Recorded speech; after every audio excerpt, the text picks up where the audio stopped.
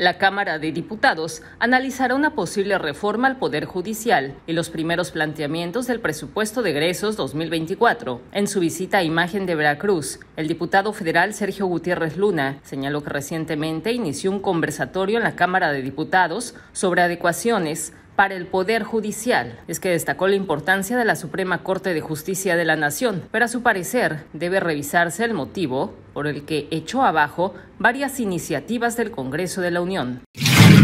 Que están estos conversatorios para una posible reforma electoral y a partir de esos conversatorios ver si se logra un acuerdo para presentar una reforma al Poder Judicial.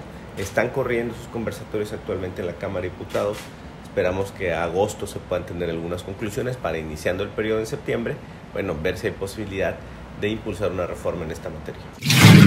Sobre el presupuesto de egresos 2024, el legislador federal afirmó que habrá ajustes en beneficio de la ciudadanía. Por el momento no se visualiza ninguna reforma fiscal, pero la recaudación de impuestos será más eficiente continuar con la disposición de recursos para las obras emblemáticas, el tren Maya, el corredor interoceánico que tiene que ver con, con esta zona, con Veracruz y culminar esas obras que se iniciaron en este sexenio. Eh, la política de este gobierno y de del Congreso ha sido no aumentar los impuestos, tener una mejor recaudación para a partir de eso pues, poder destinarlo a los rubros que necesitamos.